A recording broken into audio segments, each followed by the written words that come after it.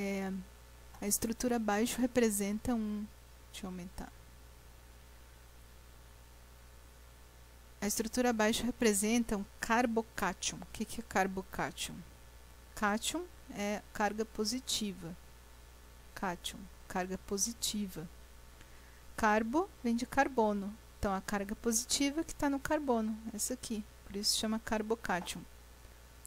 O qual pode ser formado em reações de substituição de aletos de alquila com espécies químicas nucleofílicas e na presença de solventes adequados.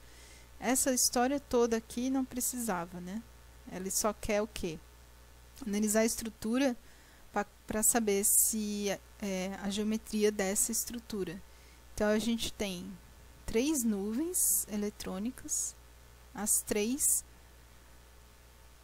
com é, átomo ligado. Não tem par de elétron livre. Isso significa que na, em 3D ele vai estar tá o mais afastado possível na forma trigonal plana. E a trigonal plana é a letra D, D de dado.